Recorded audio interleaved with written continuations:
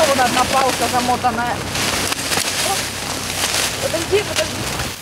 Вот так елка за елкой. Пятый год волонтеры дарят вторую жизнь новогодним красавицам, правда, в ином формате. Несмотря на мороз, активисты продолжают собирать сырье. К счастью, барнаульцы в акции участвуют охотно. Папу вытянула, говорю, давай, надо собирать. В прошлом году думали, так вдоль подъезда соберем. Ну, что-то пошло-пошло. Тоже штук 20 насобирали. Ну, сами носили, тяжело было. И вот в этом году я говорю, все, берем прицеп и будем э, на прицепе возить. Вот два прицепа сего- в этом году собрали. Только на одной точке за первые 20 минут акции удалось собрать больше 30 елок. Для удобства жителей по одному месту сбора организовали в каждом районе города. В прошлом году у нас была цифра почти 54 900 с чем-то, но из них около больше тысяч елок было свежих с базаров.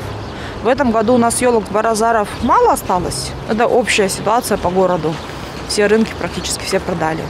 Но вот мы планируем, наверное, столько же примерно собрать на точках. Помочь организаторам акции пришли и другие волонтеры. Говорят, дело нужное. Ну, чтобы хотя бы, типа, это же материал как-никак. Типа, можно либо на дрова отправить, либо ну, то же самое на ДСП. Ну и так, типа, иголки тоже можно отправить куда-нибудь, типа, сделать эфирные масла. Сырье планируют отправить в Павловский перерабатывающий комбинат. Там из елок сделают МДФ-плиты и корм для животных. София Ценко, Андрей Печоркин. День с толком.